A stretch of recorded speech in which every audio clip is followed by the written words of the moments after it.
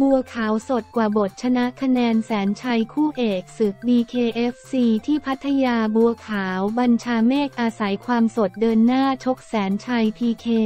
แสนชัยมวยไทยยิมก่อนครบ 5 ยกกรรมการชูมือให้บัวขาวเป็นฝ่ายชนะคะแนนศึก BKFC การแข่งขันมวย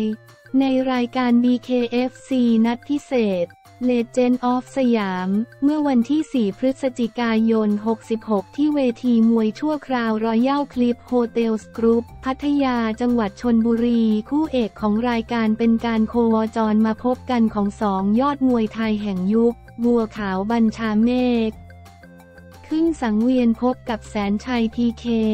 แสนชัยมวยไทยยิงผลการแข่งขันปรากฏว่าตลอดการชก 5 ยกบัวขาวเป็นฝ่ายเดินหน้าออกอาวุธขณะที่แสนชัยอาศัยดักจังหวะ 2 ได้ดี ครบ 5 ยกกรรมการยกมือให้บัวขาวชนะคะแนนไปแบบสนุก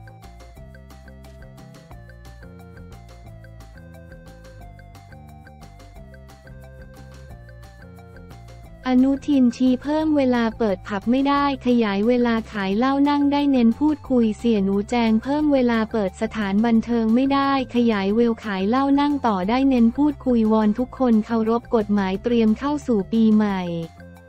ให้โอกาสเศรษฐกิจฟื้นวันที่ 4 พฤศจิกายน 2566 นายอนุทินชาญวีรกูล รองนายกรัฐมนตรีและรัฐมนตรีว่าการกระทรวงมหาดไทยเผยว่าตอนนี้พวกเราต้องเตรียมตัวเข้าสู่ปีใหม่ โดยปีนี้เรามีทั้งรัฐบาลใหม่ และโอกาสใหม่ที่จะเกิดขึ้นที่ฟื้นตัวจากวิกฤตโควิด -19 ที่ทำให้เศรษฐกิจชะงักไปเป็นเวลาหลายปี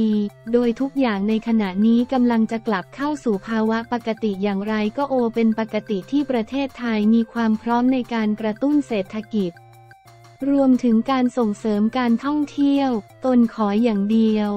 ให้ทุกคนเคารพกฎหมาย เช่น เรากำลังเปิดให้ขยายเวลาปิดสถานบันเทิง สถานการบริการแต่เราไม่ได้ขยายเวลาให้ดื่มสุรามากขึ้น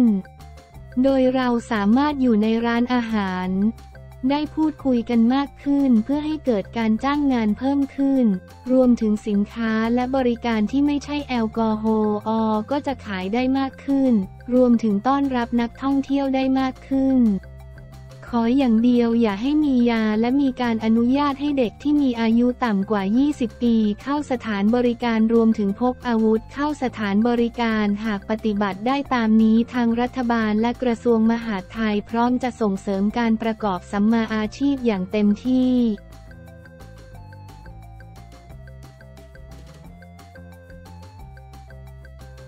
เศรษฐา ยันวันที่ 10 พฤศจิกายนนี้แถลงดิจิทัลวอลเล็ตชัด ทุกขั้นตอน ลั่นไม่คิดถอยหลัง เศรษฐา ยันวันที่ 10 พฤศจิกายนนี้แถลงดิจิทัลวอลเล็ตชัด ทุกขั้นตอน ลั่นไม่คิดถอยหลังจะทำให้ดีที่สุดทุกนโยบายเดิมพันฝีมือรับใช้แอปพลิเคชัน เป๋าตังร่วมเมื่อเวลา 10นาฬิกา30 นาที วันที่ 4 พฤศจิกายน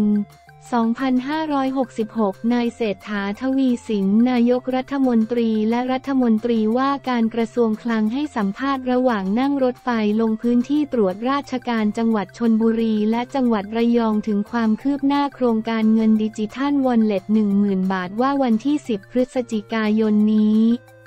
จะรู้เรื่องทุกอย่างรู้ที่มาที่ไปตามที่เรียนแล้วไม่ได้ไปว่าใครที่ไปพูดอะไรทั้งสิ้น แต่การสื่อสารเป็นเรื่องสำคัญดังนั้นในวันที่ 10 พฤศจิกายนนี้จะรู้ที่มาที่ไปทุกอย่าง มีขั้นตอนทำลายกฎกติกาที่ชัดเจน และต้องให้เกียรติคณะกรรมการตนอยากให้ทุกอย่างเป็นไปตามขั้นตอน ไม่อย่างนั้นจะเกิดความสับสนในเศรษฐากล่าวต่อว่าเรื่องดิจิทัลวอลเล็ตเป็นเรื่องสำคัญ แม้จะมีความเห็นต่างบ้าง แต่ยอมรับว่าจะต้องมีการกระตุ้นเศรษฐกิจ ส่วนลักษณะขอบเขต หรือปริมาณการกระตุ้นเศรษฐกิจจะเท่าไหร่ต้องมาพูดคุยกัน ยืนยันว่าหากใครมีข้อเสนอแนะก็รับฟังตลอด และการรับฟังก็ไม่ใช่การรับฟังเฉยๆผู้สื่อข่าวถามว่านโยบายนี้ดูเหมือนจะเป็นการเดิมพันฝีมือก้าวต่อไปของรัฐบาลภายใต้การนำของพรรคเพื่อไทย นายเศรษฐากล่าวว่าตนคิดว่าให้ประชาชนเป็นคนตัดสินจะดีกว่า ทุกนโยบายสำคัญและกรณีที่สื่อมติชน Daily News ได้ทำโพสำรวจเห็นว่าเรื่องเศรษฐกิจปากท้องเป็นสิ่งสำคัญ ดิจิทัลวอลเล็ตก็เป็นเรื่องสำคัญ นอกจากนี้ยังมีเรื่องหนี้ครัวเรือน ซึ่งตนได้ประชุมไปแล้วในเรื่องของหนี้ครัวเรือน โดยเรียกนายอนุทิน ชันวีรกูล รองนายกรัฐมนตรีและรัฐมนตรีว่าการกระทรวงมหาดไทย ผู้บัญชาการตำรวจแห่งชาติมหารือ และตนก็เป็นรัฐมนตรีว่าการกระทรวงคลังด้วยเห็นว่าเรื่องนี้สำคัญรวมไปถึง 30 บาทรักษาทุกโรค มีหลายเรื่องสำคัญทุกเรื่องเป็นเดิมพันหมด แม้แต่เรื่องการบริหารจัดการน้ำก็เป็นเรื่องสำคัญ ราะเกษตรกร 30-40 ล้านคนรอเรื่องนี้อยู่ภาคอุตสาหกรรม และเรื่อง EEC ก็เป็นเดิมพัน ไม่มีเรื่องอะไรที่ผมจะด้อยค่า ซึ่งต้องทำเรื่องเหล่านี้อย่างจริงจังนายเศรษฐากล่าวอีกว่าวันนี้นายจุลพันธ์อมรวิวัฒน์รัฐมนตรีช่วยว่าการกระทรวงคลังก็ทำงานหนัก แต่เวลามีไม้มาจ่อปากก็ต้องตอบ แต่เป็นเรื่องที่เราอยู่ระหว่างการทำงาน ซึ่งอาจจะมีการเปลี่ยนแปลงบ้าง พูดวันนี้อย่างแต่ก็อาจจะมีการเปลี่ยน แต่มาหาว่าท่านพูดกลับไปกลับมานั้นไม่ใช่ เพราะอยู่ระหว่างการคุยเวลาไปคุยกับแบงค์ชาติ เขามีข้อเสนอกลับมา ก็กลับมาบอกเมื่อสื่อเอาไม้จ่อปากเขาก็พูดว่ารับฟังแบงค์ชาติ รับฟังสภาพัฒน์ก็มาบอกว่าพูดจาไม่รู้เรื่องนายเศรษฐากล่าวต่อว่าเมื่อมีคำเตือนมาตนก็รับฟังสื่ออาวุโสหลายท่านก็เตือนมาผู้ว่าราชการจังหวัดแบงค์ชาติก็บอกไม่ได้ติดอะไร แต่ให้ระวังในเรื่องนี้ ให้เขียนภาพระยะยาวเวลาที่ออกมาแล้วจะกระทบกับเศรษฐกิจในเชิงบวกอย่างไร รวมถึงการเจริญเติบโตของเศรษฐกิจ นายเศรษฐากล่าวอีกว่า ดังนั้นเวลาที่จะแถลงก็ต้องแถลงให้ครบทั้งหมด เมื่อเวลามีคำถามอะไรตนจะได้ตอบได้ แต่เห็นใจนายจุลพันธ์ทำงานหนักมาก ในฐานะที่ดูแลเรื่องนี้และไปคุยกับทุกภาคส่วน ขณะเดียวกันก็ยังมีกฤษฎีกาด้วยเยอะแยะเต็มไปหมดรวมถึงคณะกรรมการการเลือกตั้ง กกต ด้วยที่เราได้หาเสียงและพูดอะไรไป ต้องไปปรึกษาเมื่อมีข้อคิดเห็นมาเราก็ต้องฟัง เมื่อถามว่านายกรัฐมนตรีมาจากนักธุรกิจประชาชนจึงคาดหวังสูงในเรื่องเศรษฐกิจปากท้องจะดีขึ้น นายกรัฐมนตรี มีความตั้งใจแบบนั้นหรือไม่ว่าภายในกี่เดือน ประชาชนจะยิ้มอย่างมีความสุข นายเศรษฐากล่าวว่าขึ้นอยู่กับหลายปัจจัย แต่ความตั้งใจของตนอยากให้ยิ้มทุกวัน อยากให้ยิ้มเร็วๆตนกระตือรือร้นมีความอยากจะทำ แต่ไม่ได้หมายว่าจะทำไม่ได้นิสัยของตนไม่ใช่คนแบบนั้นอยากทำให้ได้ทุกคนก็รู้ดีมันไม่ได้อยู่ที่ตนคนเดียว ซึ่งมีปัญหาต่างๆเข้ามาและมีปัจจัยภายนอกรุมเร้าเยอะ เมื่อถามว่านโยบายดิจิทัลวอลเล็ตต้องระวัง จะถอยหลังก็ไม่ได้ใช่หรือไม่ นายกรัฐมนตรีกล่าวว่า ถ้าพูดอย่างนั้นก็หมายความว่า ตนมีความคิดที่จะถอยหลัง ตนไม่ได้คิดจะถอยหลัง และจะต้องทำออกไปให้ดีที่สุดและถูกต้องตามกฎหมายที่สุดให้คนได้รับผลประโยชน์สูงสุดสาธารณชนต้องเข้าใจด้วยว่า ระบบนี้วิธีการนี้ไม่มีการคอร์รัปชัน ในเชิงปฏิบัติไม่มีที่ให้ประชาชนต้องสงสัยว่าใครได้อะไร เป็นเรื่องที่ธรรมดาเรื่องทุจริตประพฤติมิชอบตนก็ไม่สบายใจ แต่ไม่ต้องห่วงนายเศรษฐากล่าวต่อว่าส่วนแอปพลิเคชันเป๋าตังมีส่วนร่วมแน่นอน เพราะเป็นเรื่องของการให้ความสะดวกและง่ายให้กับประชาชนใช้นโยบายนี้ได้อย่างสบายใจ ส่วนการกำหนดพื้นที่การใช้หรือการระบุให้ถอนใช้เป็นเงินสด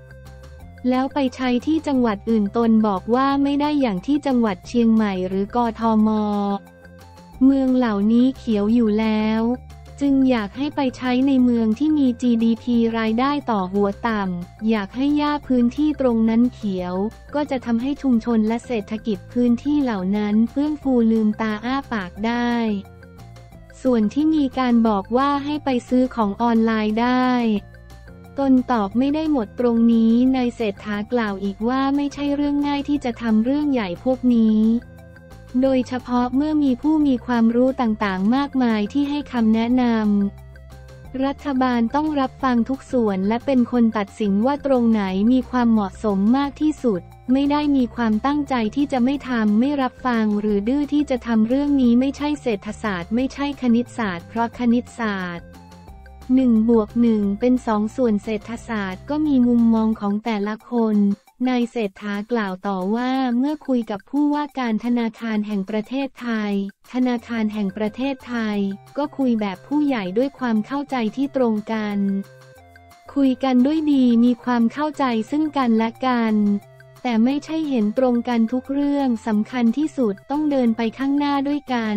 วันนี้ประชาชนเดือดร้อนกันมากแล้ว อย่างที่บอกไม่มีใครปฏิเสธได้ว่า GDP เฉลี่ย 10ปีที่ผ่านมาอยู่ที่ 1.8%ถึงเวลาที่จะต้องแก้ไขและทำให้ชีวิตความเป็นอยู่ของประชาชนดีขึ้น นายกรัฐมนตรีกล่าวอีกว่านอกจากนั้นเรื่องความยุติธรรมความซื่อสัตย์สุจริตในการบริหารจัดการปัญหา